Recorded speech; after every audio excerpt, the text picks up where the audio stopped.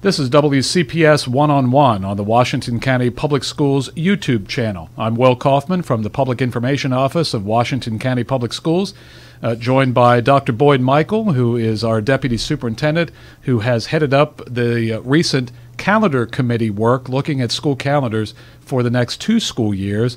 Uh, a somewhat unique effort this time because of the mandate from the governor. Boyd, did that present more challenges? H- how did the process go in light of the mandate that we have to start after Labor Day?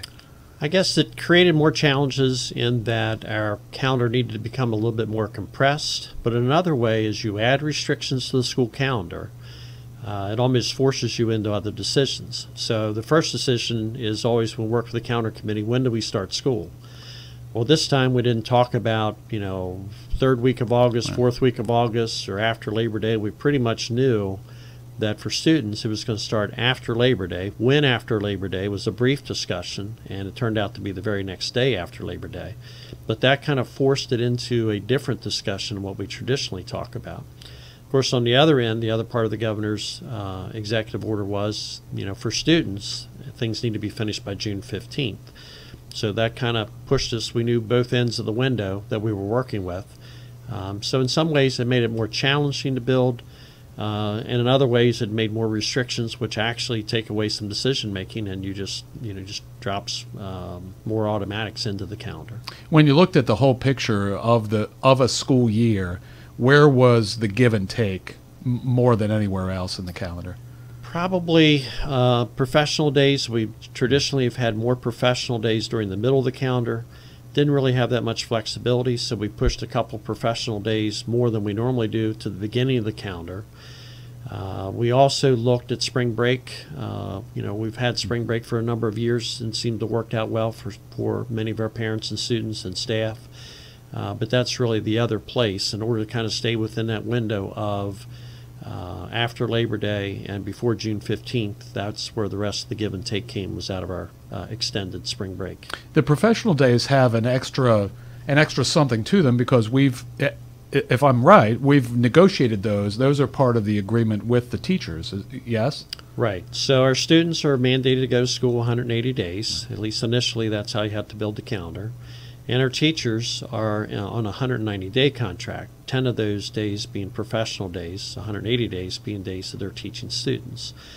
But a lot of the contractual things, and what a lot of parents don't understand, is there's a half day for grading, there's a half day for, for planning thrown in there, there's a half day for principal led um, professional development. So there are some requirements by marking period or by semester that we have to meet our contractual requirements. Additionally, our educational support personnel, or ESP, their days that they have identified holidays, so we have to work those in the calendar.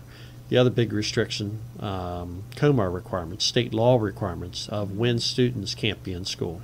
It's not so much about staff, but it's about students.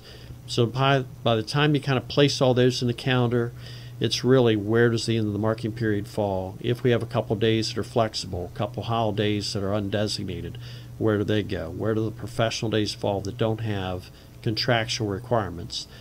Other than that, it's just kind of is it this week or that week for uh, a marking period to end?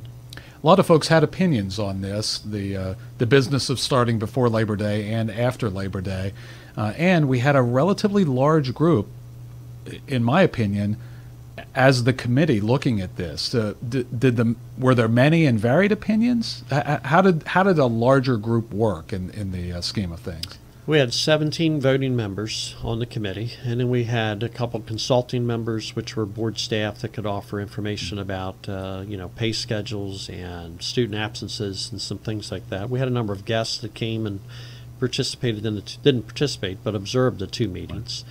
Uh, we really didn't get into the debate over, you know, is it a good or bad that we start after Labor Day. We just accepted that as a given, and pretty much just moved right into our work. Uh, it was a good group. It was a lot of great exchange of ideas. Uh, our students participated, our parents participated, our staff participated. Um, you know, we moved days back and forth a number of times before we landed on decisions. And I'm very thankful for the committee we had. It was, like I say, a really a cooperative group, a lot of good thought processes, um, a lot of creative ideas, and then with some of the restrictions, we kind of you know, had to reel ourselves back and, and think, ah, we don't really have a choice in this or that. But um, the group really worked well together and considered a lot of ideas.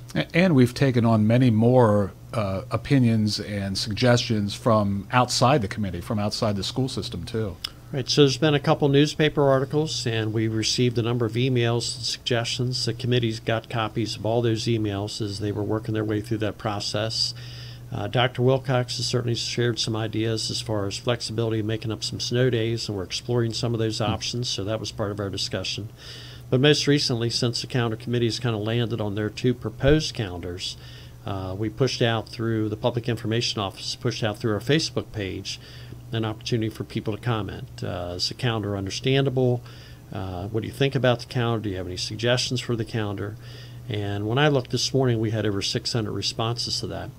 Overwhelmingly, people uh, can understand the calendar format, which has changed a little bit, and uh, seem to be very positive about it. Very nice comments about how hard the committee worked and the, and the good things that they saw a few questions about some things, and that'll be some of the part of the discussion I'm sure we'll have with the board uh, next Tuesday. Right. I mean, ultimately, the Board of Education will sign off on the, the two calendars that have come out of the committee's work. Right. The role of the committee is strictly an advisory role, um, so they kind of work and do kind of a workshop session, really think through everything, think of from the student end, the parent end, the teacher end, the educational support personnel end. Uh, you know, have we allowed for everything? But ultimately, it is the board decision. So the board might have questions for the calendar committee. They might send them back to work for some reason on something. I don't think that they will. Um, we're going to have uh, some representation from the calendar committee at the board meeting, and those folks will be able to share some thoughts, um, many of which have come up in the survey. You know, why didn't you have a day here, or why didn't you have a day there? All those are the types of things that actually, you know, I haven't seen anything new in the questions or comments that haven't already been considered at the calendar committee, and they chose for one reason or another to go a certain direction. Doesn't mean it's right or wrong. Some of it's just, uh, you know, you can move a day here or there. Um, and it, it might make it better for some, it might make it worse for others. But I think we're real close in what we're presenting to the board. I think they're going to be pleased with the work, but I won't be surprised that they make a few changes. And there's still no definitive work by you or the committee on where exactly snow will fall and how much there'll be and how our schedule will be affected by that. That's the one thing we haven't covered. If we could uh, know when the snow days are going to be, we could work with those. That'd be one more restriction to the calendar, but uh, it would allow us some advance notice on that. What the calendar committee did do, we kind of split a little bit. We allowed about four days on the very end of the calendar, so we still would be finished with students prior to June 15th. If it turns out that we come up with an alternative to how to make up snow days, uh, those days can be ignored, uh, or the possibility of some combination of those makeup days and some other means of making up days via technology or uh, extended homework or uh, work from home type thing. Uh, so all that's yet to be determined. I know we're exploring that, um, as well as some other counties are exploring some options like that. We have some unique opportunities now with the technology that we have. Uh, we want to make sure that it's valuable uh, instruction for children, and uh, I think all that's will work itself out here as we move forward in the next couple of months. All right, good. Thanks for taking the time, Boyd. Appreciate it. Dr. Boyd Michael, Deputy Superintendent for Washington County Public Schools. This is WCPS One on One, found at the Washington County Public Schools YouTube channel.